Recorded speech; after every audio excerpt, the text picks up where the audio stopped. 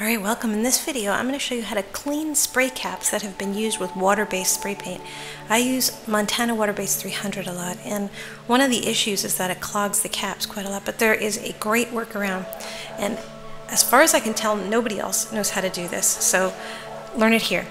Those are the caps for Montana Water-Based 300.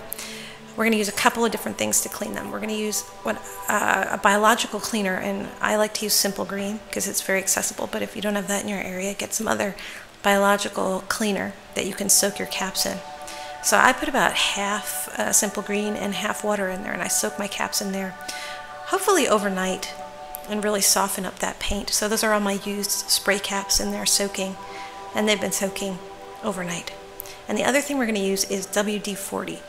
Now WD-40 has a spray cap on top, but it is not the same kind as is used in Montana Water-Based 300. So you're going to need an adapter. You can get an adapter that will convert convert basically an innie to an outie so that you can put uh, your spray caps on it that you use with the Montana Water-Based 300. And we spray WD-40 through them and that uh, either loosens up the paint or gets rid of whatever's in the spray caps. So first thing we're going to do is we're going to take a cap out wipe off any paint that's uh, been stuck around the edges of the place where the paint comes out, the hole, or anywhere. And then if it has uh, paint stuck inside, I'll clean it out with a sewing pin. But if it doesn't, I'll just put it on top of the WD-40, spray through it. If it sprays through, that cap is now ready to reuse. So let's do it again. Wipe off my dirty spray cap, get all the paint off, check and see if it has any paint inside. It doesn't, so all I need to do is put it on my adapter on my WD-40, spray a little WD-40 through it, and it's done. It's clean, ready to use. Now this one has a little paint stuck inside of it. So I'm going to take a sewing pin and I'm going to go inside the little tube that's underneath on the bottom and just get out any gunk that I can get with that uh, pin. Sometimes you can't get it all out, that's alright. You loosen it up with the WD-40, but get out as much as you can with the sewing pin. It should kind of come out all in one piece after it's been soaking. And then spray through it with that WD-40. And there we go, clean. Ready to use. So let's do it again. And I'm doing this a bunch of times because there's different issues you'll run into with different caps, so I want to make sure you get a an overview of sort of all the possible things that can happen and what to do about them. I'm cleaning out the, the little tube with my sewing pin. And I'll spray a little WD-40 through it, and we got another cap. Alright?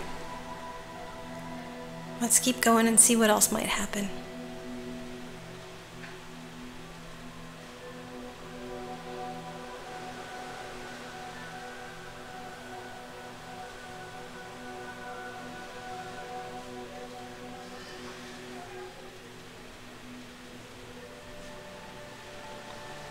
Okay, so you might notice that nothing comes out of this one. So what does that mean? What do you do then? Well, some of them just aren't going to get cleaned. There's, I would say about 80% of them are going to work and 20% of them are going to have a problem. This one, I took it off and the little tube part that was inside got stuck there. So I have to take it off, grab it with a paper towel and take it off. That cap is dead. It died. Some of them just die. But you can save most of them, and it's going to save you a lot of money in buying these caps because they sell them for like 25 cents each. It's pretty ridiculous.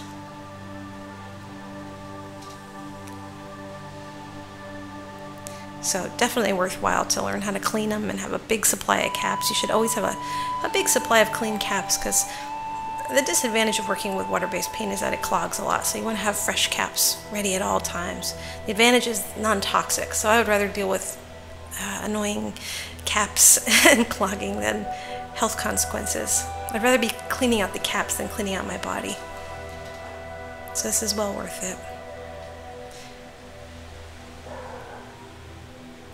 And most of those caps will be able to be reused. So I hope you've enjoyed this and that you've learned how to clean your caps working with Montana Water-Based 300. If you have any questions, my name is Alisa Amor and go to spraypaintartsecrets.com to get all kinds of free spray paint art information.